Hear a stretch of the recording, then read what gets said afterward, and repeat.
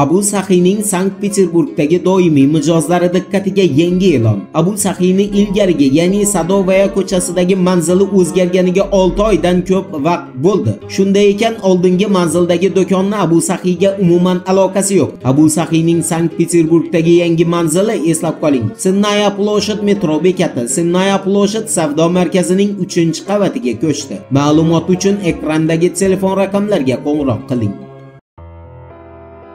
Assalomu alaykum qadrdon muxlis. Siz bilan siz bilgan va kutgan kanal Turfoli. Xabaringiz borki, iyun oyining boshida Moskva birjasi valyuta bozori departamentining raisi Andrey Skabelin rasmiy bayonot berib, yaqinda Rossiya birjalarining barchasidagi xalqaro savdolarni yangi valyutalarda amalga oshirish imkoniyatini ko'rib chiqayotganini ma'lum qilgan edi. 20-iyun kuni Moskva birjasi valyuta bozori departamentining raisi Andrey Skabelin kengashni bu borada bir qarorga kelganini va rasman 27-iyun kunidan boshlab Rossiya birjalarida yangi valyuta O'zbekiston milliy valyutasi sanalmish so'm muomalaga kiritilishini e'lon qilgan Andrey Skabelinning fikriga ko'ra, Rossiya birjalarining so'mga o'tishi mamlakatning, ya'ni bugungi kunda sanksiyalar sabab xalqaro bozordan chetlatilgan Rossiyaning yangidan yangi imkoniyatlarini ochib beradi va birjalardagi ko'p tarmoqli savdoni rivojlantirishda trampolin vazifasini bajaradi.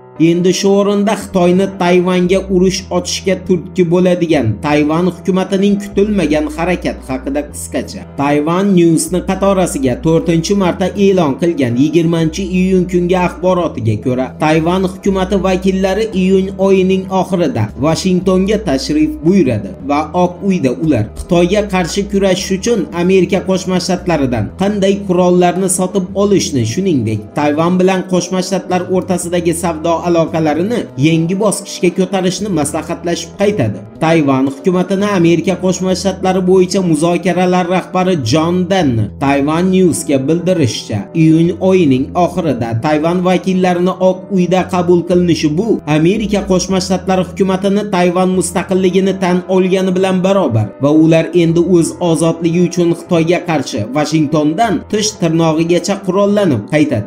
Endi o'z qizi bilan jinsiy aloqa qilganlikda Kimsan Fox News muxbiri Tucker Carlson tomonidan ayblangan. Amerika Qo'shma Shtatlarining prezidenti Jo Baydenni shu hodisalar bo'yicha agar ularni shunday atash mumkin bo'lsa albatta. Bergan yangi bayonot to'g'risida to'liq. Oq uyning yangi kotibi Karin Jean-Pierre'ni 20-iyun kuni katta minbardan ta'kidlashiga ko'ra, janobi Bayden hazrati oliylari qizi va ularning dushdagi sarguzashtlari haqida hech qanday yangilik aytgan emas. Karin Jean-Pierre'ni urg'u berib aytishiga ko'ra, Bayden hozirda faqat va faqat bir narsani, u ham bo'lsa, ushbu kundalikni qanday qilib Fox News'ga yetib borganini, qolaversa shaxsiy ma'lumotlarni tarqatgan kishilarning shaxslari bilan qiziqmoqda va tabiiyki ular ma'lum bo'lgach jazolanishi aniq.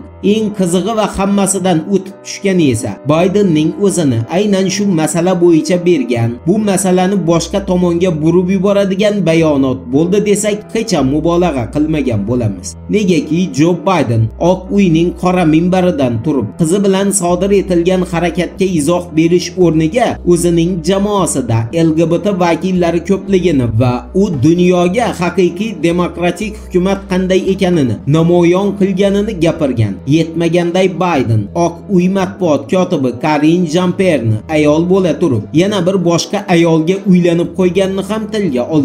Bundan shunday xulosaga kelish mumkinki, Bayden dushdagi jirkanch hodisalarga umuman izoh bermagan. Mavzuni esa Amerika Qo'shma Shtatlaridagi Rossiyaga qarshi qo'llanilgan sanksiyalardan keyingi og'ir ahvolni sonlarda eslatib yakunlaymiz. Baydenni jirkanch sirlarni ochib tashlagan Fox News'ni 20-iyun kungi xabariga ko'ra, Rossiyaga qarshi sanksiyalar joriy etilgandan so'ng Amerika Qo'shma Shtatlari so'nggi 40 yil ichida ko'rmagan inqirozni o'z boshidan kechirmoqda. Agar bu inqirozni sonlarda aytadigan bo'lsak hozir har bir amerika oilasi bir oyda o'z ehtiyojlari uchun avvalgiga qaraganda 500 dollar miqdorida ko'p pul sarflashga majbur bo'lmoqda. Eng yomoni esa bu inqiroz shu ketishda davom etsa amerika qo'shma shtatlari boshpanasiz va nochorlar mamlakatiga aylanishi aniq. Voqealar rivojini birgalikda kuzatamiz. Turfa olam bilan qoling siz kutgan kerakli ma'lumotlar hali oldinda.